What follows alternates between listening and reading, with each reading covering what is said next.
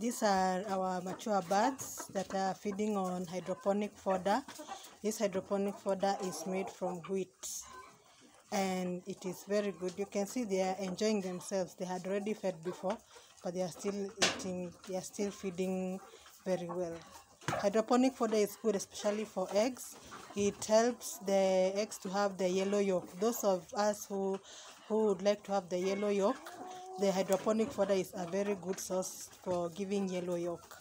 Also, hydroponic fodder is good. It helps to boost the immunity of birds. It has uh, growth enzymes in it that help to boost the, uh, the, the, the immunity of birds, even for to help even in the digestion and assimilation of nutrients uh, from the feeds to by the birds.